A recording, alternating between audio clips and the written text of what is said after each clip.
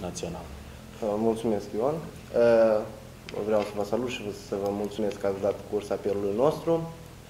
Totodată să felicit națiunea română cu ajunul frumosului eveniment dedicat de 1 decembrie. Suntem în ajun și de centenar.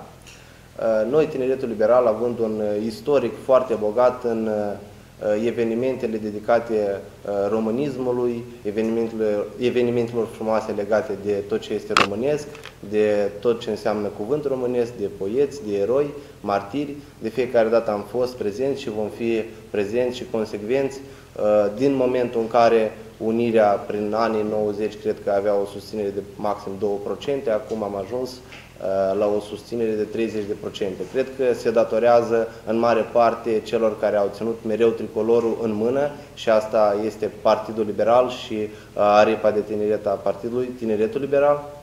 Uh, noi avem o deosebită plăcere să vedem aceste rezultate frumoase care le obținem din an în an și uh, mai precis numărul de unioniști care crește, care îmbrățișează această uh, soluție, acest deziderat, acest ideal al nostru de reunificare a statelor românești.